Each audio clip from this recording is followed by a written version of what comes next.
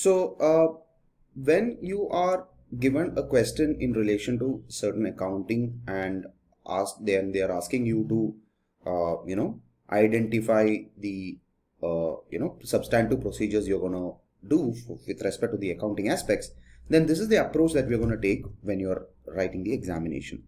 The approach is divided into m r s and a. First you need to write about the materiality materiality of the issue of the issue materiality is something that is very important that you need to highlight because uh, many students I've seen that don't score professional marks just because they have not written the materiality. Because any issue that is given, let's say for example, uh, non-current assets, uh, as per non-current assets, training cost cannot be capitalized. And if they have capitalized it, it is an issue. You need to first identify what is the amount of training costs that have been capitalized and explain to the examiner that this is a material or immaterial balance. If it is immaterial, you can stop there and then there itself.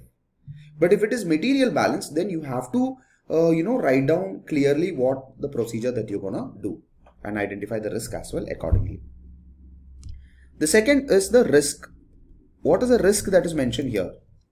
Uh, what is the risk of misstatement? Whether it is uh, an error, whether there are chances of fraud, uh, or uh, you know, is there a control gap? What is the issue here? you need to identify the risk. If there is a specific accounting treatment they have done incorrectly, then you need to identify the risk, mention the possible risk attached to those accounting issue. It could be that, uh, you know, uh, revenue could be overstated. Like you can mention uh, assets could be understated or overstated. If it is training cost, then expense could be understated, assets could be overstated. Incorrect capitalization of the training cost. So what account, which specific account is overstated or understated is what you're you're required to write here in the um, in the R risk part of the uh, answer of your solution. Then you need to explain the accounting standards. That's very important. Sometimes uh, students might ask me this question, sir, do we have to remember the IFRS standards? Not necessary. You don't have to write the entire IFRS standard, but at least you need to explain the conceptual framework of what is the standard talking about. If they are asking you a question in relation to non-current asset, then you have to explain as per IAS 16 what is right and what is wrong. So you need to write what exactly uh, is, is wrong with respect to the standard. Why do you think it is wrong? What is a possible reason it is wrong, etc. And then A, talk about three A's. I would put it in this manner. First one is assertions. You need to write about the assertions that is impacting this particular transaction. If let's say, uh, you know, training cost is capitalized, what is the assertion that is impacting for assets? It's definitely the valuation, right? Assertion, valuation of the non-current asset is getting impacted.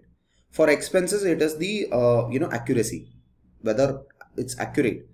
Second, for expenses, it is the classification. It's classified incorrectly, right? So what assertions are getting impacted because of this accounting issues what you need to write the assertions which respect to statement of profit or loss or statement of financial position you need to explain. Second you need to write the audit procedures. What audit procedures you are going to perform? Like how you gonna uh, you know how you are going to perform this particular audit procedures? And the audit procedures a e i o u Perform an analytical review of the last year to the current year. Inquire with the manager or inquire with the accountant this and that. Inspect the uh, you know invoices. Inspect the breakdown of the assets that have been capitalized as non-current assets. Third one is the audit evidence. Audit evidence. Audit evidence means the documents that you're going to collect. The documents. What documents do you need? Do you need internal documents, external documents? What are the evidences that you're required to collect? That you have to link it to the risk. Depending upon the risk, you need to identify the evidence as well. So you need to write the approach or the right answer should have clear explanations of all these elements. So in your answer, you should have explanations of all these elements. Explanations of all these elements. Only then, only then you will be able to clear uh, score marks. Only then you will be able to score marks. So this is the approach that we are going to follow. So what I'm going to do is I'm going to use this approach. I want you to note down this approach and we are going to look at specific accounting related issues. The first one we are going to cover is taxation, specifically deferred taxation. And we'll do a question and based on the question, we'll try to create, uh, using this approach, we'll try to write down or give explanations for the answers.